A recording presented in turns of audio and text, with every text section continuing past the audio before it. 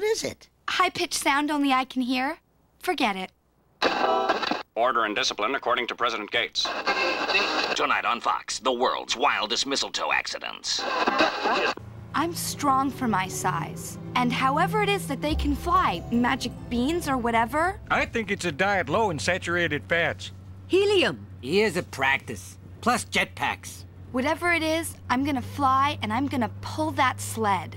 You can still have a rewarding career with Santa even if you can't fly. There's electronic navigation, sleigh maintenance, meteorology. I know you're all trying to be helpful, but sometimes in life you just suddenly know exactly what to do. Tighter. I wonder how she's doing. Stay tuned for the latest from the North Pole. But first, a message from Grandma's old-fashioned partially hydrogenated soybean oil. Oh, she had a clear sense of mission. Cares deeply about Christmas. Our last best hope. Close, close friend of mine for years.